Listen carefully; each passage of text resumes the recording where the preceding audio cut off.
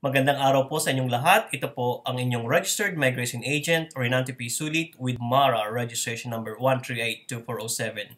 We would like to congratulate our successful applicants who are now our PS ambassadors. Fatima Costes of Pangasinan, Clarice Ramon of Cebu City, Lawrence Salvosa of Iloilo City, and Martin Fortus of Surigao City. If you are an AHPRA registered nurse who would like to become a resident of Australia, please contact RPS Migration at 0415-831-158 or visit our website at www.rpsmigration.com.au.